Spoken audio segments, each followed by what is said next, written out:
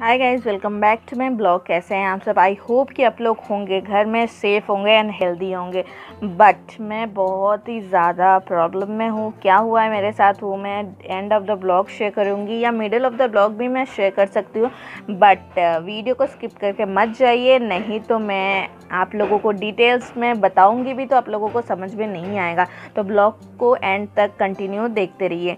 And आप देख सकते हो अभी सुबह के बज रहे हैं साढ़े बारह एंड साढ़े बारह बजने के बाद भी मेरे घर की हालत बहुत ज़्यादा ख़राब है, क्योंकि अभी लॉकडाउन सिचुएशन चल रहा है क्वारंटाइन है हम लोग घर में तो आराम से सो रहे हैं, आराम से खा रहे हैं तो उठने में भी बहुत ज़्यादा लेट कर रहे हैं हम लोग तो इसलिए घर का काम थोड़ा ढीले ढीले चल रहा है। तो आप लोगों के वहाँ सब टाइम पे चल रहा है कि नहीं कमेंट करके ज़रूर बताइएगा। हालाँकि हम लोग बहुत जल्दी उठ गए थे, आज साढ़े आठ बजे के करीब, जो कि हम लोग कभी उठते नहीं हैं बट आज उठ सके थे। बट आज उठ चुकी थी मैं बट uh, कोई काम करने का मूड बिल्कुल नहीं कर रहा बिकॉज़ आप देख सकते हो मेरे फेस में कुछ हुआ है। क्या हुआ है वो मैं आप लोगों को क्लोज़अप आके बताती हूँ। लुक गाइज़ मेरे साथ क्या हुआ है। देख सकते हो? एंड यहाँ पे भी है वो भी मैं आप लोगों को क्लोज़अप दिखा देती हूँ। होप यू कैन सी क्या हुआ है मेरे साथ? तो क्या हुआ है मेरे साथ? वो तो मैं आप लोगों के साथ शेयर ज़रूर करूँगी बट उसके पहले मैं अपना रूटीन आप लोगों के साथ शेयर कर देती हूँ कि मैं आफ्टरनून में क्या करती हूँ, क्योंकि अभी बारह से ज़्यादा हो चुके हैं, साढ़े बारह हो रहे हैं तो वो आफ्टरनून ही हुआ ना। तो मेरा आफ्टरनून रूटीन मैं आप लोगों के साथ शेयर करूँगी आज के ब्लॉग में एंड आज मैं कहीं और भी जाने वाली हूँ लंच करने। तो कहाँ जाऊँगी एंड किसने मुझे बुलाया इस क्वारंटाइन में अपने घर लंच करने के लिए? वो जानने के लिए ब्लॉग को एंड तक देखते रहिए। साथ ही साथ ये जो हुआ है मेरे साथ, वो भी मैं आप लोगों को ब्लॉग में ही शेयर करूँगी। तो ब्लॉग को एंजॉय करते रहिए एंड कंटिन्यू देखते रहिए। तो चलिए मैं जल्दी से अपना काम कर लेती हूँ फ्रेश हो लेती हूँ, नहा लेती हूँ, साथ ही साथ अपना रूटीन भी आप लोगों के साथ शेयर कर लेती हूँ। आई होप कि आज का ब्लॉग आप लोगों को अच्छा लगे। तो चलिए मैं मिलती हूँ आप लोगों से थोड़ी देर बाद एंड फ़िलहाल मैं अपना जो ये वाला जो सेक्शन है, आप देख सकते हो टोटली खाली है। ये सारे जो सॉफ्ट टॉयज़ यहाँ पड़े हुए हैं, उसको सारे को रख लेती हूँ सही से, क्योंकि मेरे महाराजा बाबू ने ये सब ख़राब किया है तो उसे थोड़ा सा सुलझा लेते हैं, झाड़ू पोछा क्लीनिंग कर लेते हैं। फिर आप लोगों से मिलती हूँ मैं थोड़ी देर बाद।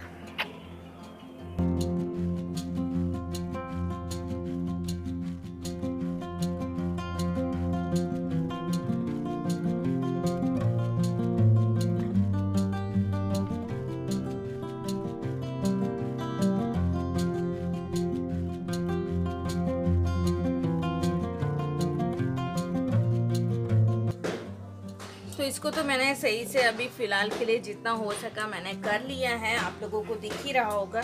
इस साइड का मैं कुछ कर नहीं सकती हूँ, जहाँ पे छोटा सा स्टील का बाल्टी दिख रहा है, क्योंकि वो मेरे मंदिर के लिए सामान रखती हूँ मैं थोड़ा सा ऊपर, ताकि उसमें कोई ज़्यादा टच ना करे। Means touch in the sense कि मैं ज़्यादा टच ना कर पाऊँ, क्योंकि लेडीज़ हर वक्त हर चीज़ टच करे, वो अच्छा भी नहीं होता है। एंड थोड़ा बहुत आप लोगों को समझ में आ रही होगी कि मैं क्या बोलने की कोशिश कर रही हूँ। तो चलिए, अभी मेरा किचन में लाइट ऑफ़ है, इसलिए अंधेरा अंधेरा दिख रहा होगा। एंड झाड़ू पोछा मैं बाद में लगा रही हूँ, क्योंकि अभी बहुत ही ज़्यादा मेरे हेयर्स है ना, हालत ख़राब है उनकी। थोड़ी सी मैं उसको कोम कर लेती हूँ। कल मैंने हेयर वॉश किया था, जैसे कि आप लोगों को कल के ब्लॉग में देखने को मिला था। एंड मैंने हेयर्स को सुलझाया भी नहीं था। तो थोड़ा बहुत मैं इसे सुलझा लेती हूँ, फिर मैं बाकी का काम कंटिन्यू करती हूँ।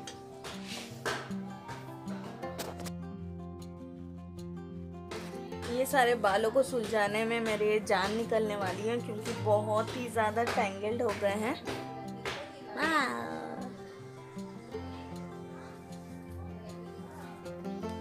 थोड़ा धीरे धीरे ही सुलझा लेती हूँ। सुलझाना तो पड़ेगा ही तो बाद में करने से अच्छा भी कर लूँ। दर्द तो होने वाला है।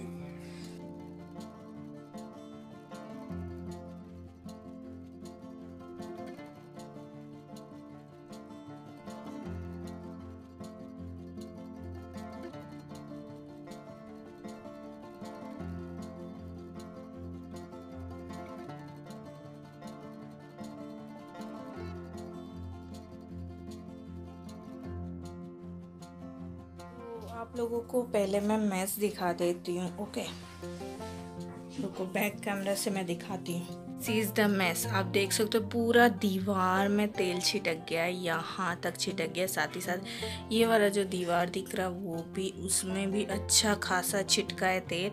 ये जो काउंटर है, पूरा पूरा तेल तेल तेल हो चुका है। Hope you can see and मुझे अभी ये पूरा क्लीन करना है। एंड वो ऊपर तक भी गया है एंड ये दीवार में भी ये अच्छा खासा कहर छाया हुआ है। And let me show you hope you can see इस दीवार में भी छिटका है। रुको मैं दिखाती हूँ आप लोगों को। ये देखो ये देखो। एंड सी कहाँ कितना ऊपर तक छिटका है ये। तो देखा आप लोगों ने, इतना सारा कहर मचा दिया है। साथ ही साथ जो फ्लोर है ना, उसमें भी तेल छिटका हुआ था पूरा। क्यों, कल मैंने उसको अच्छे से वॉश तो कर लिया है। एंड आज फिर भी मुझे साबुन के पानी से वॉश करना है, क्योंकि तेल तेल बहुत ज़्यादा ऑयली ऑयली हो रहा है। एंड वो मुझे बिल्कुल पसंद नहीं आ रहा है। एंड मेरे फेस में भी ऑयल अच्छा खासा चिटका था। यहाँ से पूरा यहाँ एरिया तक चिटका हुआ था। एंड पूरा हाथों में चिटका हुआ था जैसे कि मैंने आप लोगों के साथ शेयर किया। बट um, क्या कर सकते हैं मेरा नसीब ही कल बहुत ज़्यादा ख़राब था। इसलिए मैं ब्लॉगिंग कल पहले ही मैंने ब्लॉगिंग करना बंद कर दिया था। वीडियो एडिट करी थी फिर शाम को मैं बना रही थी ये सब। तो हुआ मेरे साथ ये। तो ये जो क्लिक है, ये मैं पहले शूट कर लेती हूँ क्योंकि वो सब मुझे क्लीन करना है, फिर मुझे नहाना है। एंड क्या हुआ इन डिटेल्स में, वो आपको लंच करने के बाद ही मैं आप लोगों को बताऊँगी। तो ये क्लिक पहले ऐड कर रही हूँ ओके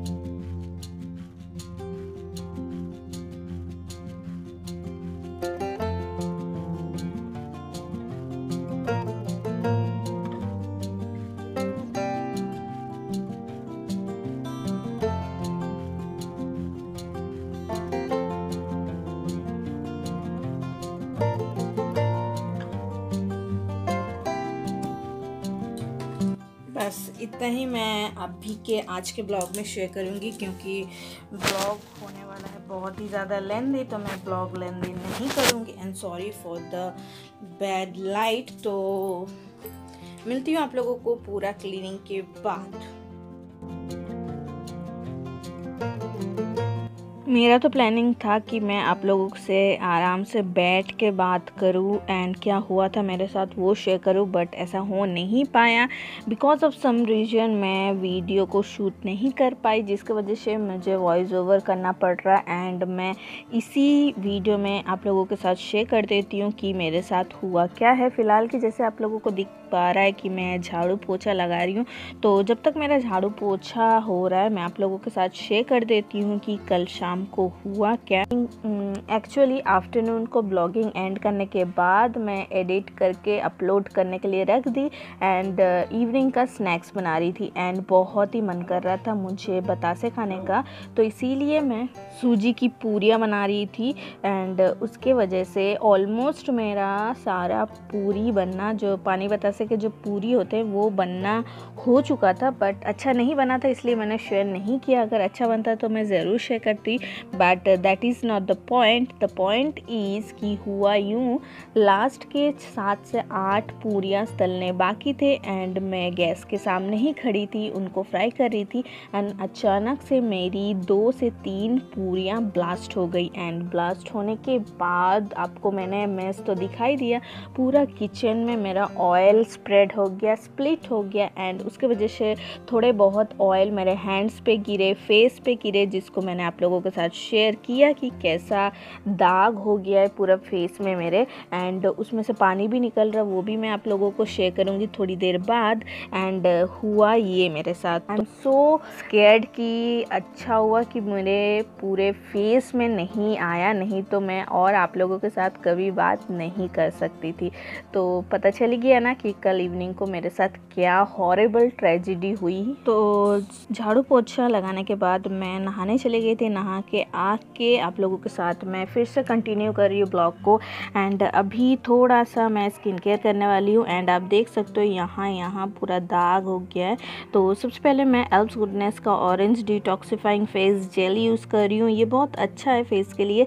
एंड मेरे पिम्पल्स के मार्क्स को ये बहुत हद तक डिसअपियर कर दिया है। तो मैं सोच रही हूँ, ये सारे दाग जो हो गए हैं मेरे फेस में, उसे पे ही रिमूव करने में हेल्प करेगा। तो इसीलिए मैंने अच्छा खासा अमाउंट ऑफ़ लगा लिया है।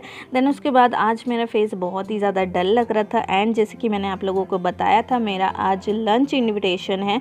तो उसकी वजह से मैं थोड़ा सा अच्छा दिखने के लिए काजल अप्लाई कर रही हूँ एंड बिंदी अप्लाई की एंड मेरा हो गया स्किन केयर कंप्लीट देन उसके बाद मैंने यहाँ पे दिया बत्ती भी कर लिया जैसे कि मैं आप लोगों को दिखा रही हूँ। एंड ये है मेरा छोटा सा मंदिर। आई होप कि आप लोगों को अच्छा लग रहा हो।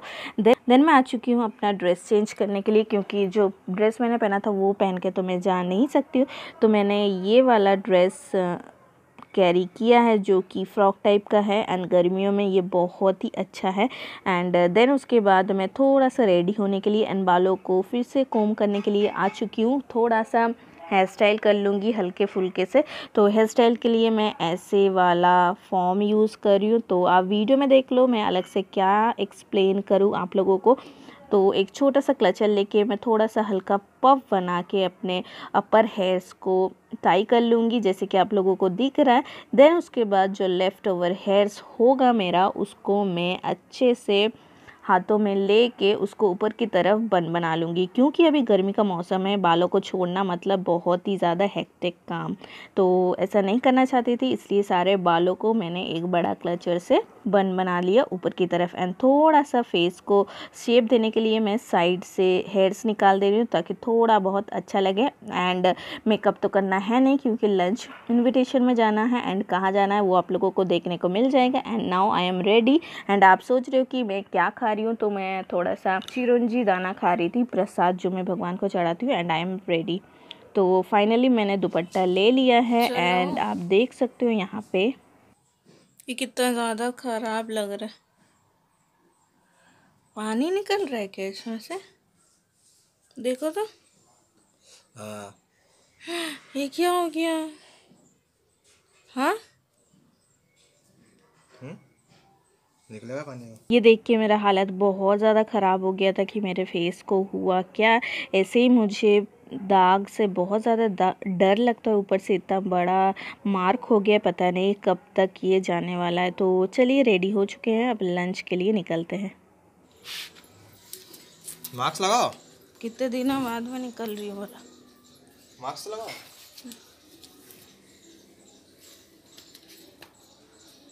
पकड़ो इसको।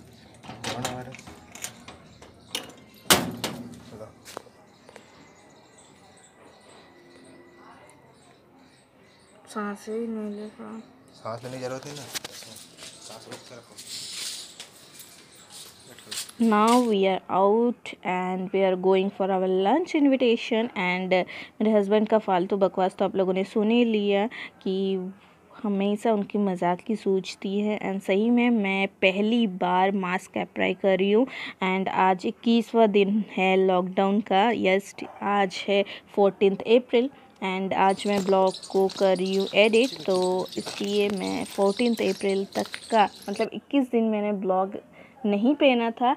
बट बीसवा दिन मतलब थर्टीन अप्रैल को मैंने मास्क पहना था क्योंकि मैं पूरा जो लॉकडाउन पीरियड था वो घर में ही थी एक भी कदम मैंने बाहर नहीं रखा। तो चलिए चलते हैं लंच करने and this is our destination जहाँ हमें लंच करना है एंड आज के मेनू में है ये। आई होप कि आप लोगों को समझ पा रहा होगा। एंड आज मैं खा रही हूँ chicken curry rice and chicken कसा। यस बहुत दिनों बाद आज चिकन आया था हमारे घर में तो इसीलिए मदर इन लॉ बुलाई थी, क्योंकि मदर इन लॉ का हाथ का खाने का मज़ा कुछ और ही होता है। एंड उनका फ्लेवर बहुत ही ज़्यादा अमेजिंग होता है। इसीलिए सबने उन्हें ही बोला कि आप ही बनाओ, नहीं तो मुझे बोला जाता था बनाने के लिए, नहीं तो अलग अलग बनाया जाता। बट ऐसा नहीं हुआ, हम लोगों ने एक ही जगह में खाना खाया। तो आज हमारा लंच इन्विटेशन था हमारे ससुराल में। तो आई होप कि आप लोगों ने एंजॉय किया होगा। एंड कैसा लगा आज का ब्लॉग कमेंट करके ज़रूर बताइएगा। यहाँ पे सबका ऑलमोस्ट खाना हो चुका था। हम लोग ही लास्ट में गए थे। एंड मैं तो सबसे धीरे धीरे खाती हूँ तो धीरे धीरे खा रही हूँ। एंड यहाँ खाना हो चुका था तो हम लोग घर के लिए निकल रहे थे। एंड बाबू पहले से ही था मदर इन लोग के घर में तो उसको लेके हम लोग रिटर्न जा रहे थे। तो आज का ब्लॉग कैसा लगा कमेंट करके ज़रूर बताइएगा। आई होप कि आप लोगों को अच्छा लगा होगा। अगर लगा होगा तो लाइक शेयर सब्सक्राइब करके मेरे चैनल को ज़रूर जाइएगा. Thank you for watching love you all